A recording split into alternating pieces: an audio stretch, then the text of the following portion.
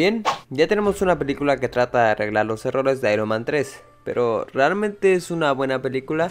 Hey, ¿qué onda amigos de Secretos Cines? Sean bienvenidos a un nuevo video para mi canal y en esta ocasión vamos a hablar de Shang-Chi. Obviamente esta reseña tendrá grandes spoilers y abarcaré todo lo de la escena post créditos, específicamente la primera, así que sin más, comencemos.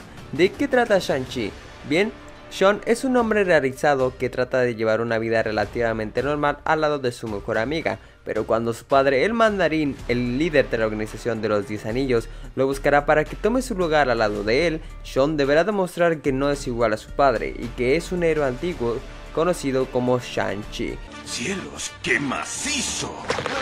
Bien, realmente hay cosas muy buenas en esta película y cosas muy malas, pero vamos a comenzar con lo bueno. Como siempre, hablemos de lo mejor, de algunas cosas realmente importantes y destacables.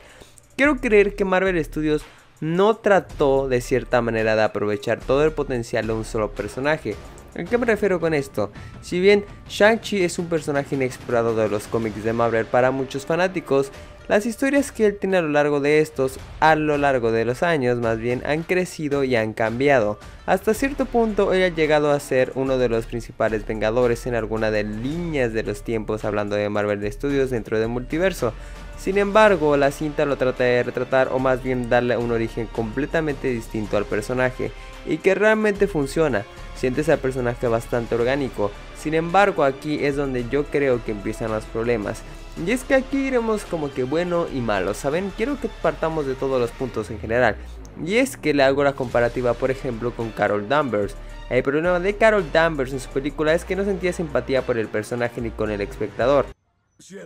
Y aquí es básicamente lo mismo. Si bien Shang-Chi es un hombre rudo, audaz, que sabe pelear y defenderse, no te deja más allá de mostrarte por qué hace lo que hace. O sea, se entiende que quiere detener a su padre porque su padre es malvado, y eso la película lo trata bien. Pero más allá de eso, el personaje es como un cascarón de huevos vacío. Igual que Carol Danvers en Capitana Marvel. No es malo, la película es buena en ese aspecto de la acción, de la aventura, pero el personaje principal no logra destacar por sí solo, al menos no siempre. La diferencia aquí es que siento que este personaje tiene un poquito más relevancia en respecto a Capitana Marvel, ya que aquí es donde entran los 10 anillos y la relación que tienen con el mandarín.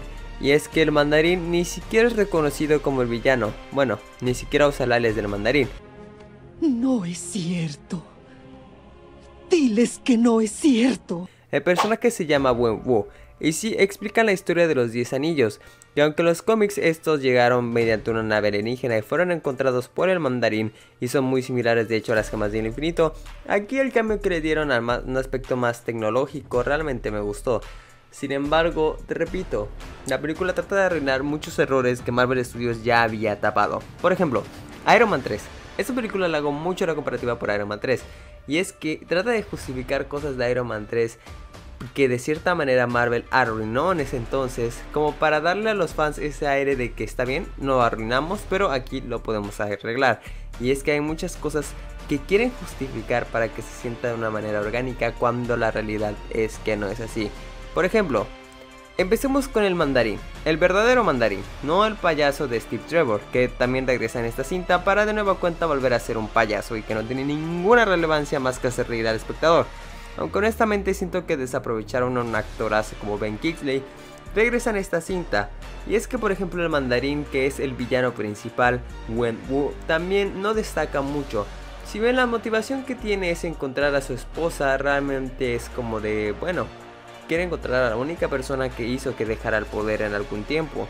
Pero tampoco es como que destaque mucho, sus ideales no tienen mucha lógica más que de ser un conquistador. Y el ver expandir un imperio tan grande como el de los 10 anillos es algo bastante interesante. Sin embargo, no sientes ese peso en la historia como si hablaras de una organización como Hydra, Shield o algo mucho más grande en una sociedad actual. Sin embargo, los 10 anillos han sido una sociedad secreta, así que tal vez por ese punto la película lo pueda justificar. Sin embargo, de ahí todas las acciones del mandarín realmente no las sientes de manera orgánica en la historia. Sientes que pasa porque tiene que pasar y porque tienen que darle una importancia al personaje de Shang-Chi. Y es que la conexión que tiene con su padre y con los 10 anillos de poder es lo que destaca por mucho en esta cinta. Y que funciona pero a la vez no tanto.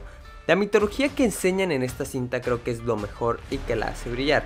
Respecto a los nuevos avances, las nuevas criaturas mitológicas, todo eso me pareció bastante interesante y muy bien aprovechado. Y creo que realmente esta es la película más fantasiosa de todo Marvel Studios. Porque si bien por ejemplo con Black Panther mostraron una cultura completamente distinta, aquí mostraron un mundo completamente distinto. No hablamos de una ciudad super avanzada, no, hablamos de magia, hablamos de dragones, hablamos de cosas mitológicas que de cierta manera se han intentado adaptar al mundo del cine de los superhéroes y que no han funcionado muy bien, pero que aquí realmente destaca. La batalla final creo que es de lo más interesante en toda la cinta. Ver a todas las criaturas mitológicas y ver a los amigos de Shang-Chi y a Shang-Chi pelear contra el ejército de los 10 anillos es bastante interesante. Pero repito, el problema no es eso, el problema es que no hay una justificación real para la batalla que sí es muy interesante y muy épica, que siento que dura muy poquito, eso sí, realmente el personaje no logra brillar por sí solo. Y es que por ejemplo la película, repito, se podría llamar tratando de arreglar los errores de Iron Man 3, de este Steve Trevor, el nuevo mandarín, metiendo referencias a villanos, por ejemplo a los alterados por Aldrich Killian que también aparecen brevemente en la cinta, realmente dices, bueno, Está bien, ¿por qué quieren redimir el pasado si pudieran haber aprovechado una nueva historia con un nuevo personaje? No tenías que realmente tapar ese hueco que dejó Iron Man 3. En fin, otra cosa mala de la película es que siento que desaprovecha mucho a personajes que mostraron en los avances y que se veían bastante interesantes. Por ejemplo, Abominación, que pelea contra Wong como 10 segundos y después desaparecen, los dos. Es como de, ok, en el trailer aparecieron más tiempo, ¿sabes? Son como que esos detalles que hacen que esta película no sea la mejor de Marvel Studios, tampoco la peor. Sin embargo, es un poco 50-50 respecto a lo que querían lograr con esta cinta. Así que repito, la cinta no es mala, brilla por muchas cosas, especialmente por el personaje principal, que aunque a veces es hueco, también tiene bastantes momentos donde destaca por su forma de pelear, las escenas, cómo se enfrenta a su padre y a su pasado, su amiga realmente lo apoya y siempre está para él.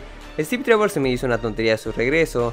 De ahí tenemos a su hermana, que también es un personaje bastante interesante y que en los cómics igual logra destacar en esa organización de los 10 anillos.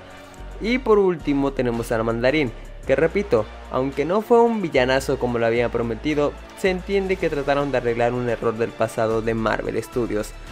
Pero bueno, mi calificación creo que para esta cinta sería un 7 de 10 o algo por el estilo. Y no digo que sea mala, sino que pudo haber sido mucho mejor. Es como de, ¿qué pasaría si Marvel Studios hubiera hecho las cosas bien con Iron Man 3? Realmente creo que esta película jamás hubiera llegado. Ahora, la primera escena post créditos, y creo que es la más importante, conecta directamente con la fase 4, y es que vemos a Shang-Chi uniéndose a los Vengadores. Vemos que al final de la cinta, al usar los 10 anillos de poder, enviaron un mensaje al cosmos, Específicamente no sabemos a qué, y es que en los cómics hay una mitología bastante extraña alrededor de los 10 anillos, que pueden significar varias cosas, y es que muchos usuarios en internet ya empezaron a hacer teorías que se trata de alguna nave Scroll o incluso del mismo Galactus, y la verdad yo creo que podría expandirse a algo más nuevo. Recordemos que el multiverso de la locura ya inició desde la serie de Loki, así que sería cuestión de tiempo esperar. Recuerda que Marvel sabe hacer muy bien las piezas en su tablero para al final darnos un macro evento enorme, y en este caso todo apuntaría quizá a Secret Invasion o a Secret Wars, ¿por qué no? Sería el final de un nuevo camino del universo cinematográfico, en el cual probablemente Shang-Chi sea uno de los líderes principales de los Vengadores. Y bien, eso ha sido todo por esta ocasión. Déjame aquí en los comentarios si te gustó la película de Shang-Chi. No te olvides de suscribirte a mi canal y activar la campanita de notificaciones para que te llegue una notificación cada que yo suba un nuevo video. Déjame tu like por Shang-Chi. Y bueno, yo soy Camilo García y nos vemos en la próxima.